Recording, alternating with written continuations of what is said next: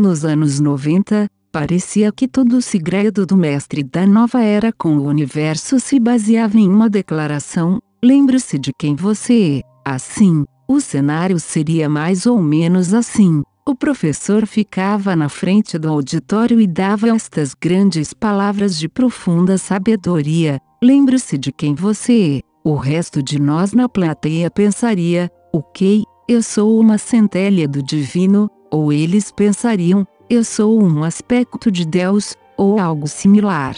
E então todos nós apenas nos sentaríamos e olharíamos um para o outro, cada um de nós pensando: ok, entendi, e agora? Nós apenas olharíamos inexpressivamente ao redor da sala, cada um de nós perguntando o que virá a seguir? Claramente, nós entendemos no nível intelectual, mas, infelizmente, nós não compreendemos no nível do coração. É do coração que a sabedoria abre as portas da compreensão. Esse entendimento não vem das palavras ou da mente, mas do silêncio, da quietude. Durante esse tempo, nos anos 90, houve muita conversa sobre como os trabalhadores da luz se ofereceram para vir à Terra para esta missão. Lembro-me inflexivelmente de me recusar a acreditar que me ofereci para vir aqui. Em tom de brincadeira, insistia que todos os outros se afastaram e deixaram os ingênuos,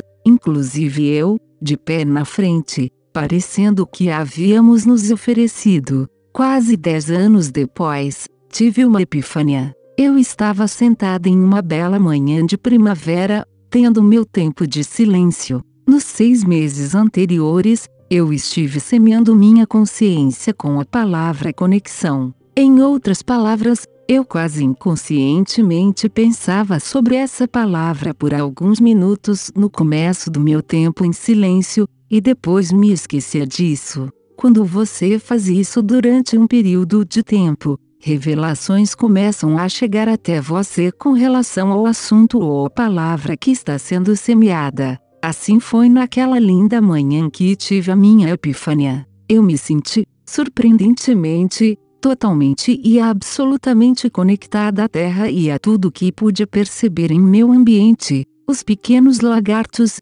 os pássaros tropicais, a grama, a própria Terra. Foi a percepção, o sentimento de um expressando-se como tudo que é naquele momento. O amor, um grande amor se derramou através de mim, me enchendo e se expressando como um amor surpreendente pela humanidade. Foi então que percebi, é claro, que me ofereci, como eu não poderia. Este amor que está tão além do nosso conceito humano de amor se abriu como um sol brilhante em meu coração e explodiu todas as sombras escuras. É claro que nós nos oferecemos, porque esse amor é quem nós éramos, e esse sentimento era a lembrança de quem somos. E esta experiência de amor e a compreensão da unidade que começa a semear a nova realidade, é o entendimento de que o cerne da matéria é um resultado de nossa consciência interior se revelando. Nós devemos nos aprofundar na verdade do ser.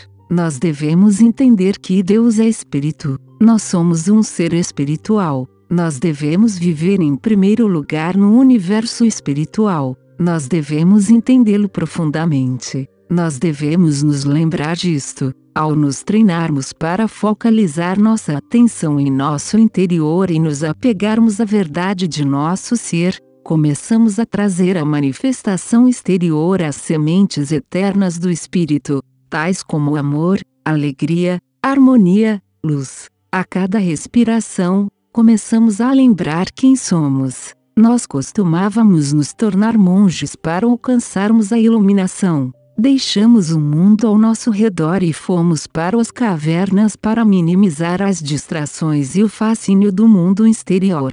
De uma maneira muito real, nosso treinamento é muito parecido com esse grau de devoção e dedicação. Embora nós literalmente não tenhamos que nos mudar para uma caverna, nós literalmente temos que desenvolver nossas habilidades para manter nossa atenção e nosso foco fixo em nossa luz interior, em nosso ser interior.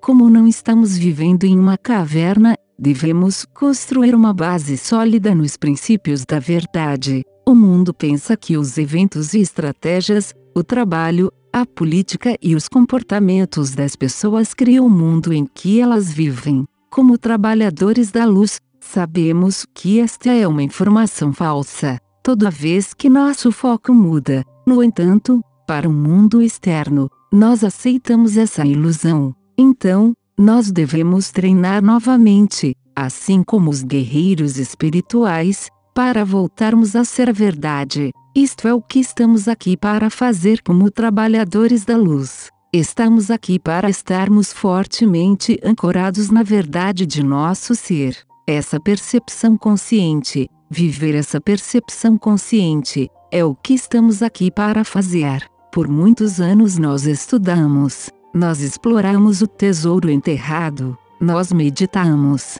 nós praticamos, caímos, praticamos e estudamos um pouco mais. Agora é a hora. Este é o momento da grande transição. O portal espiritual está aberto. O próprio cosmos está trabalhando para ajudar nossa evolução para a verdade. Nós somos os trabalhadores da luz. Este é o nosso momento cósmico.